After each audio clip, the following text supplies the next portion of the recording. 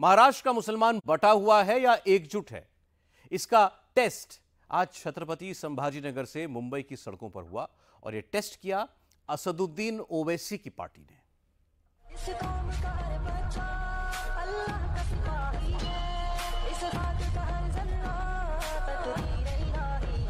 ईमान बचाया है जिसने, आकाश मिलाया है जिसने।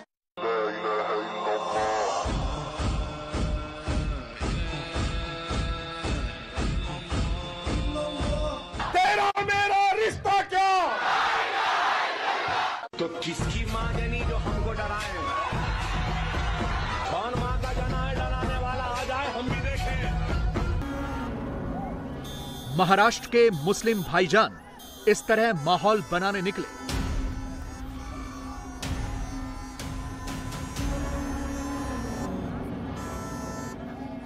Sambhaji Nagar to Mumbai march.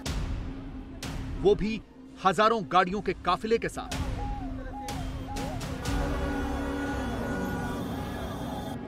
Ramgiri Maharaj का विवादित बयान तो बहाना है। चुनाव से पहले मुस्लिम वोट की ताकत दिखाना है।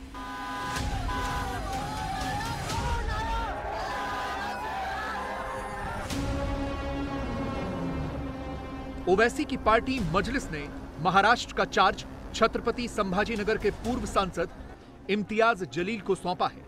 इम्तियाज़ जलील ने जलवा दिखाने का ऐसा प्लान बनाया।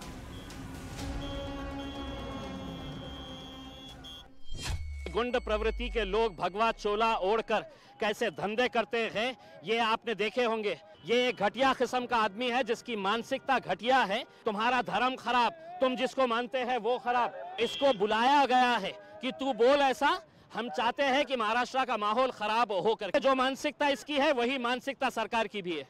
स्टेज के ऊपर खड़े रह के मुसलमानों को गाली दी जा रही है, हमारे धर्म के ऊपर गाली दी जा रही है, कोई कार्रवाई नहीं हो रही है, पुलिस खामोश बैठी हुई है, सरकार, प्रशासन है तो इसको बढ़ावा दे रही है आप दंगे भड़काना चाहते हैं, आप माहौल खराब करना चाहते हैं, आप हर एक को छोड़ दिए हैं स्टेज के ऊपर कि जाओ गाली दो, जिसको देना है हम तुम्हें हाथ नहीं लगने देंगे। सरकार सोने का नाटक कर रही है। सरकार को जगाने के लिए हम जा रहे हैं। इतना सारा हुजूम जो है, वो इस बात की गवाही दे रहा है कि लोगों के अंदर कितनी नाराज़गी है। यहाँ पर ये जो लोग जमा हुए हैं, ये कोई एमआईएम के पूरे कार्यकर्ता है, ऐसा नहीं है। कौन सी तुम्हारी जमात है, तंजीम है, हमें कोई लेना देना नहीं है। यहाँ पे बाहैसियत मुसलमान तुम आइएगा। मजलिस के chief Asaduddin Owaisi Waqf amendment bill के खिलाफ पूरे हिंदुस्तान के मुसलमानों को जोड़ने निकले हैं। ओवैसी फ़र्स्ट अटेम्प्ट में सीए पर फेल हो गए। ओवैसी सेकंड अटेम्प्ट में एनआरसी पर भी फेल हो गए। ओवैसी ने थर्ड अटेम्प्ट में वक्फ बिल को पकड़ा है। डरिए मत मोदी से। मोदी अभी जा रहे हैं बाय बाय हो रहा है। इंशाल्लाह ताला जम्मू कश्मीर हारेंगे। हरियाणा भी हारेंगे। महाराष्ट्र में मजलिस कामयाब होगी।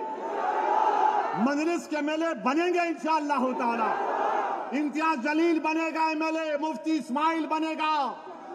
धूलिया से फारूक शाह बनेंगे, सोलापुर से फारूक बनेगा। मुंबई वर्सोवा से इंशाल्लाह ताला, रईस लश्करिया और हमारे कई एमएलए को कामयाब करना है।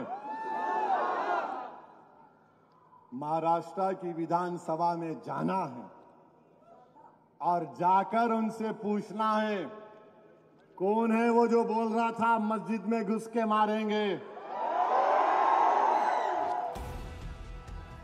वक्फ बिल का दायरा बड़ा है।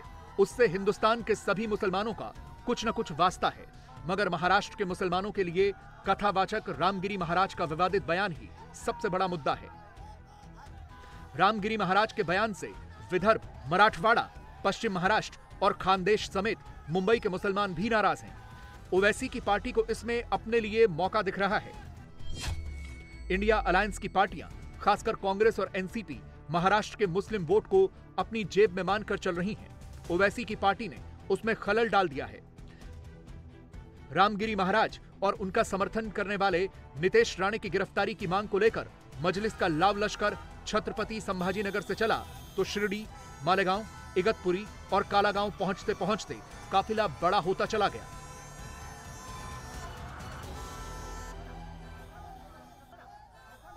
कहाँ से आए? बीड़ शहर बीड़ बीड़ जिला। क्या क्यों आए? रामगिरी महाराज को अरेस्ट करने के लिए। आप खुद से आए या कोई लेके आए नहीं नहीं हम खुद से आए हैं। रसूल है हम आशिकी रसूल। क्या कहना है आपका बताइए। उसको अरेस्ट करना। जब तक अरेस्ट नहीं करेंगे तब तक यहाँ से जाएँगे नहीं हम। अरेस्ट करो जल्दी से। वो लोग हैं जिनका कहना है कि रामगिरी महाराज जो है उसे गिरफ़्तार करना चाहिए। आपका क्या कहना है? रामगिरी महाराज को अरेस्ट करना है। अगर रामगिरी महाराज को जब तक अरेस्ट नहीं करेंगे, हम जब तक आंदोलन हमारा चालू रहेगा। हमारे हुजूर सल्लल्लाहु की, नाम की अगर गुस्ताखी करता कोई, हम उसको कभी ज़िंदगी में छोड़ेंगे नहीं। रामगिरी महाराज को अरेस्ट करो अरेस्ट करो। नागपुर मुंबई समृद्धि एक्सप्रेस वे पर इम्तियाज़ जलील का काफिला आया तो एक्सप्रेस वे पर उन्हीं का कब्जा हो गया। ओपन रूफ वाली गाड़ियों की छत पर बैठकर और ड्रोन कैमरा लगाकर वीडियो शूट किए गए और रील की शक्ल में उनको मोबाइल मोबाइल फैलाने का कारोबार चालू हो गया।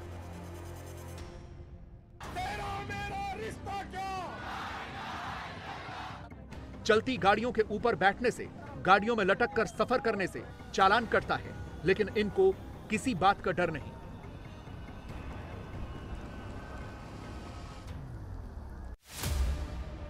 ओवैसी की पार्टी कहती है, ये तो अभी ट्रेलर है, पूरी पिक्चर बाकी है। एक वक्त ऐसा भी आएगा जब ओवैसी की सेना मुंबई के अंदर दाखिल होगी। आज किसी में इतनी हिम्मत नहीं है। एक आवाज़ के ऊपर इतनी पब्लिक अगर आई है तो वो मेरे नाम के ऊपर नहीं आई है। वो हमारे प्रॉफिट मोहम्मद के नाम के ऊपर आई है, जिनके बारे में गलत बयानी होने के बावजूद भी लोग उसकी तायीद कर रहे हैं, उसका सपोर्ट कर रहे हैं। लोग उनके नाम पे आए हैं। इम्तियाज़ जलील और एम के नाम के ऊपर ये लोग इकट्ठा नहीं हुए हैं। ये मेरा भी देश है, ये मेरा राज्य है उसमें। मुझे भी गर्व है आज भारतीय मुसलमान होने की हैसियत से।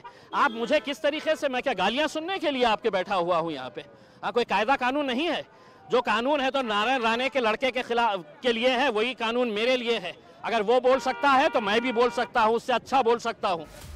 ओवैसी मुस्लिम सेंटिमेंट समझते हैं। मुस्लिम यूथ की एनर्जी को कैसे यूज़ करना है, ओवैसी को इसका नुस्खा मालूम है। रात की मजलिस में क्या नारे लगवाने हैं, और दिन के उजाले में कैसे चलना है, ओवैसी को बहुत अच्छे से आता है।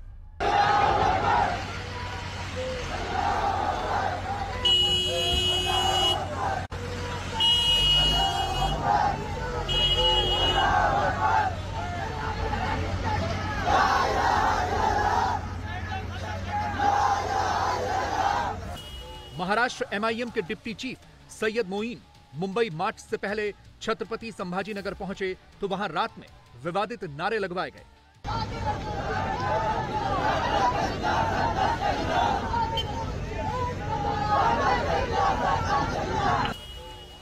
ये नारे सोशल मीडिया पर वायरल हो रहे हैं। ओवैसी जब टीवी पर तकरीर करते हैं तो भड़काऊ नारों से तौबा करते हैं। लेकिन ग्राउंड पर उनकी पार्टी का नेता ऐसे नारों को रोकने की कोशिश भी नहीं करता। ये भीड़ जुटाने वाले कहते हैं कि उन्होंने किसी को इनवाइट नहीं किया किसी को पर्सनल मैसेज नहीं भेजा गया किसी को लाने के लिए गाड़ी का इंतज़ाम नहीं किया गया। सब अपने आप आए हैं अपनी गाड़ियाँ साथ लेकर आए हैं। बाबा रामगिरी को अटैक करने की पूरी पूरी कोशिश करेंगे हम इंशाल्लाह। ये क्या कहना है आपका? आप कहाँ से भीड़ से भीड़ से रहने के घर को जाने का आज।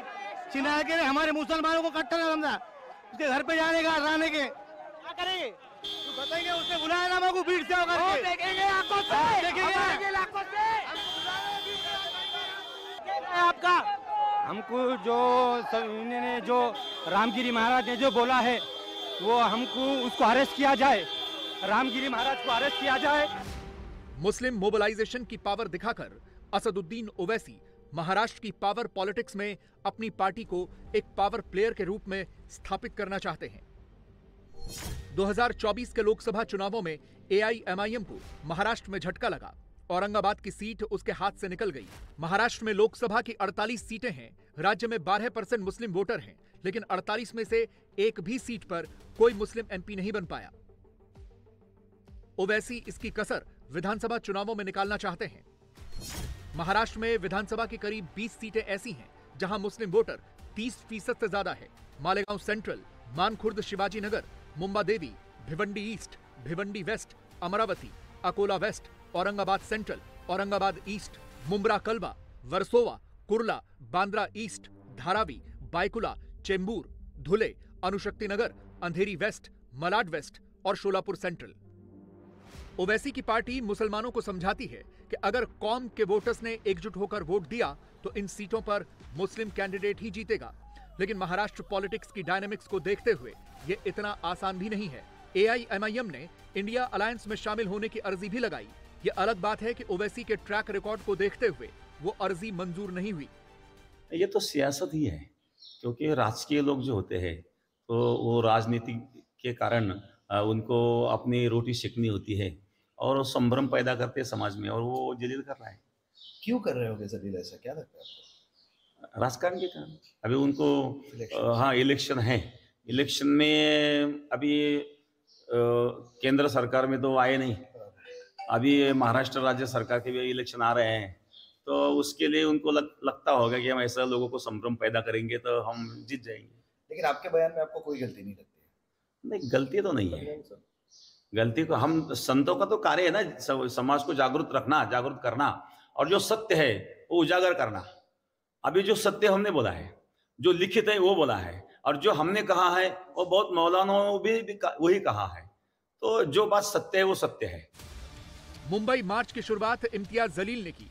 जवाब रामगिरी महाराज ने दिया फिर इम्तियाज़ जलील का भी जवाब आया। लोकसभा की और विधानसभा की कितनी भी सीटें कुर्बान है ठोकर मारते हैं हम ऐसी सीटों के ऊपर। अगर हमारे नबी करीम सल्लल्लाहु अलैहि वसल्लम के खिलाफ अगर कोई गुस्ताखी करता है तो ऐसी इतनी हल्की राजनीति करने वाला शख्स इम्तियाज़ जलील नहीं है। और और और और दूसरी बात यह है कि मुझे राजनीति करने के लिए ये रामगिरी जैसे घटिया लोगों की ज़रूरत कभी नहीं पड़ेगी इन उसमें मैं, मेरे तौर के ऊपर मैंने, मुझे, मेरे जमहूरी इख्तियार है मुझे, मैं सिर्फ़ ये कहना चाह रहा हूँ ये मुल्क में कायदा है, कानून है और ये संविधान है। अगर ये संविधान के हिसाब से मुल्क नहीं चलेगा तो ऐसे रामगिरी जैसे गुंडे मवालियों के हिसाब से तो देश चल नहीं सकता है। राणे जैसे गुंडे मवालियों के हिसाब से देश चल नहीं सकता है उसमें। मैंने सरकार को वक्त दिया था, टाइम दिया था कि आप इनके ऊपर कार्रवाई करो करके, और उनको एक चेतावनी दे रहा हूँ। अगर जबान इनके मुँह में है तो उससे बहुत खूबसूरत जबान मेरे मुँह में भी है। जिस दिन मैं इस्तेमाल करूँगा। जिस दिन मैं खोलूँगा अपनी जबान तो कोई इनके पास अधिकार नहीं रहेगा। मेरे खिलाफ भी कार्रवाई करने के लिए क्योंकि कायदा कानून सबके लिए बराबर है। ओवैसी को पोलराइजेशन में फ़ायदा है। बीजेपी को भी पोलराइजेशन में फ़ायदा है। इसीलिए दोनों तरफ़ से हाई पिच वाले डायलॉग मारे जा रहे हैं। बीजेपी ने इस मोर्चे पर नीतीश राणे को आगे करके रखा हुआ है। जमलेले जे काही जिहादी जे मुंबईला जमतायत त्यांच्या आणि तिरंग्याचा काय संबंध हा मुळामध्ये त्यांनी मला पहिले सांगावं. गणेश चतुर्थीच्या नंतर झालेल्या ईदच्या जे काही रॅली निघाल्या मोहम्मद पैगंबरांच्या वाढदिवसानिमित्त जुलूस निघाल्या त्या जुलूसमध्ये पॅलेस्टाईनचे झेंडे कसे फडकवले गेले सर तल जुदा हे नारे कसे दिले गेले हिंदूंच्या विरोधात घाणण्या आई बहिणीवर घोषणा कशा दिल्या गेल्या? मंदिरांच्या बाहेर जोरात जोरात डीजे कसे लावले गेले? तुम्ही अगर संविधानाला मानत असाल तर या भारत देशामध्ये जिथे लोकसंख्या हिंदूंची जास्त आहे नव्वद टक्के हिंदू इथे राहतात मग इथे तलसे जुदाच्या घोषणा कशा लागतात इथे पॅलेस्टाईन क- चे झेंडे कसे फडकवतात पाकिस्तान जिंदाबाद कसं आम्हाला ऐकायला मिळतं? महाराष्ट्र में 370 किलोमीटर लंबा मार्च निकलना कोई हँसी खेल की बात नहीं है। इसमें करोड़ों का खर्च होता है, कई हफ़्ते की तैयारी होती है। मुस्लिम यूथ को मोबालाइज करने के लिए मैसेजिंग चैनल्स एक्टिवेट करने पड़ते हैं। मार्च का लॉजिस्टिक्स जुटाना पड़ता है। इतना तो है कि ओवैसी की पार्टी ने यह सब कर लिया। समझदारी यह दिखाई कि पार्टी का नाम और पार्टी का झंडा पीछे रखा गया।